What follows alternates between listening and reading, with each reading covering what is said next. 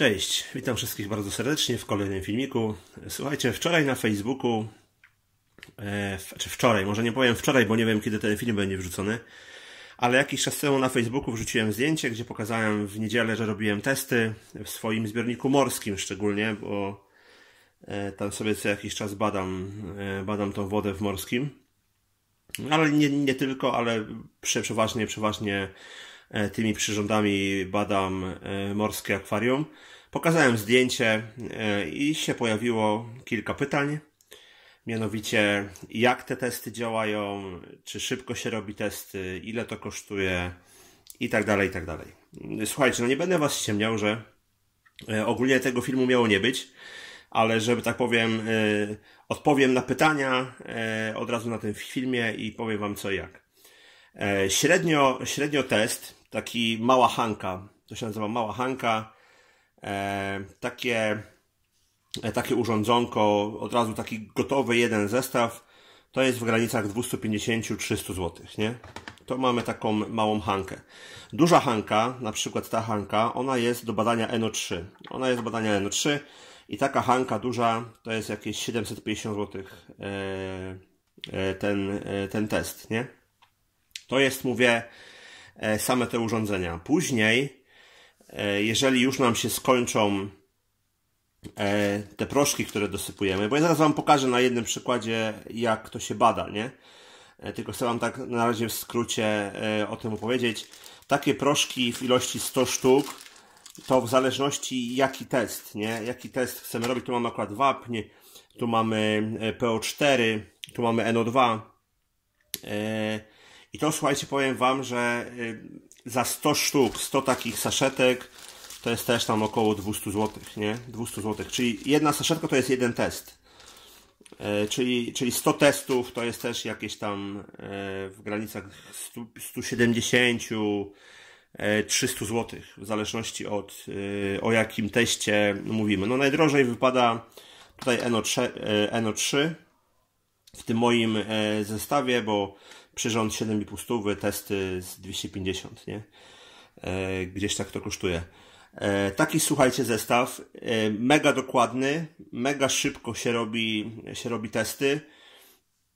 E, mówię, nie pokazywałem wcześniej tego filmu, nie miałem robić, bo jak tak powiem, no ja rozumiem, że do krewetek i tak dalej nie jest to potrzebne. Bardzo dobrymi testami uważam, że są testy JBL-a e, e, oraz Saliferta świetne, świetne testy. Zoleka jakieś tam inne bym sobie, bym sobie odpuścił. Colombo też jest spoko.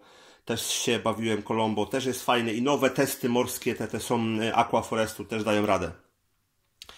E, ale jeżeli ktoś miałby ochotę sobie sprawić takie przyrządy, no to jak najbardziej tak. Mega szybko, mega dokładnie, co jest najważniejsze. E, I ja polecam takie testy osobom, które mają duże zbiorniki morskie bo jeżeli stać nas na taki zbiornik morski, na prowadzenie zbiornika morskiego, to i na takie przyrządy też nas stać e, pewnie będzie. E, wszystkie te testy to oczywiście w trzmielu je zakupicie. Wszystko co potrzeba. E, kupicie testy, kupicie później uzupełnienia do tych testów. Kupicie jakieś płyny do płukania i tak dalej, i tak dalej. Wszystko, wszystko w trzmielu oczywiście dostaniecie. W każdym zestawie oczywiście macie informacje jak testować e, po kolei, krok po kroku, jak powinniśmy te testy przeprowadzać, bo różnica między robieniem testów jest niewielka. W większości jest tak, że mamy wodę testową, tą, którą bierzemy ze zbiornika, wsypujemy jedną saszetkę e, takiego proszku, czekamy i mamy test zrobiony. Są przypadki, takie jak tutaj widzicie, że jest, na przykład tutaj nie ma proszku, tylko tutaj jest yy, kilka kropli płynu dodajemy. 1 ml takiego płynu i też nam yy, to bada, nie? Jest na przykład, tutaj na przykład yy, test jest chyba najbardziej rozbudowany z tych, na krzemiany. I tutaj słuchajcie, no raz, że tak, mamy fioleczkę, do fioleczki musimy wkropić kilka kropli a, się zaklinowało. Kilka kropli, słuchajcie, płynu dajemy y, do fiolki.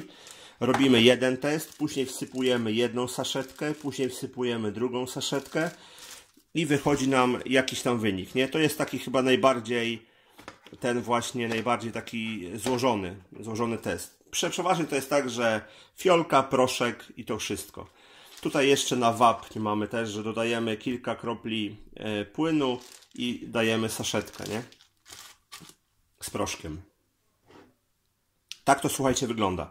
Teraz Wam pokażę na przykładzie jednego testu. Wezmę sobie wodę morską od siebie ze zbiornika i Wam pokażę, jak taki test yy, wygląda, jak w łatwy sposób się taki test robi, nie?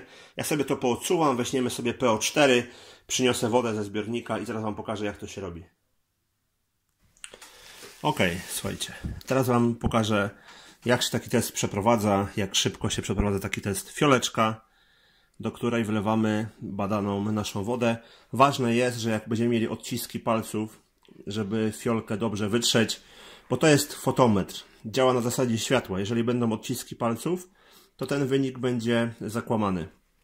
Czyli ja w pierwszej kolejności co robię, to tutaj mam wodę RO czystą, sobie wodą czystą RO wypukuję, e, wypukuję fiolkę. To jest dla mnie bardzo ważne, żeby po ostatnim teście tutaj nie było żadnych, żadnych pozostałości. Mamy, mamy fioleczkę. Do tej fioleczki 10 ml wody naszej testowanej morskiej e, wlewamy. Ok, 10 ml. Zakręcamy. Sobie odstawiam na momencik. Uruchamiamy test. Pokazuje nam, żeby jest C1, żeby wsadzić naszą fiolkę pierw z czystą wodą. Oczywiście fiolkę dokładnie, dokładnie wycieram, żeby nie było żadnych śladów, odcisków i tak dalej. Dokładnie ją wycieram. Wkładam do naszego fotometru. Zamykam. Wciskam guzik. Teraz on sobie bada naszą wodę, tą, którą mamy czyściutką. On sobie tam jakieś robi wstępne pomiary e, naszej czystej wody ze zbiornika. Bez dodatku tego proszku jeszcze, nie? Sobie sprawdzę na razie samą, samą wodę. Musimy chwilkę poczekać. OK. Pojawiło się C2. Napis CCC2, czyli on już sobie tą naszą wodę prześwietlił. Teraz odkręcamy.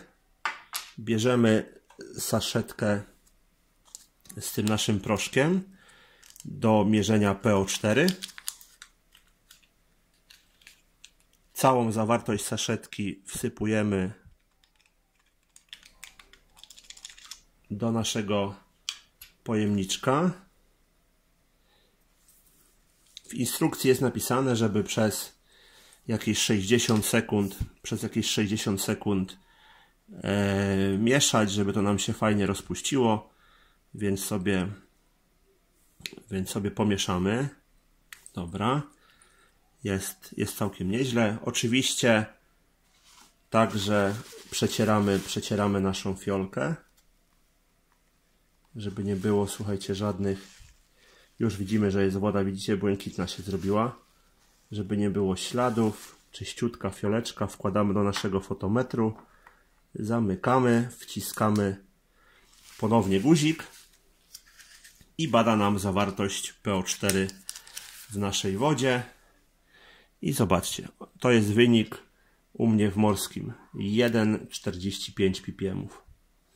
Tyle jest PO4 w mojej, w mojej kostce. I to wszystko. I test, słuchajcie, test wykonany. E, czy szybko, czy nie szybko, to już Wam zostawiam do oceny. Ale tak mniej więcej te testy wyglądają.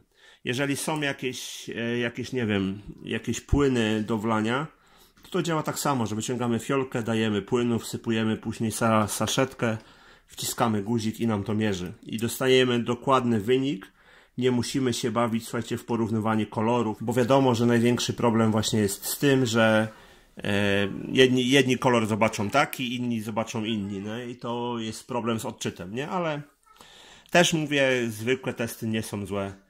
Ja przeważnie sobie sprawdzam na takich hankach, nie? No to by było na tyle. E, pozdrawiam Was bardzo serdecznie e, i trzymajcie się. Cześć, cześć.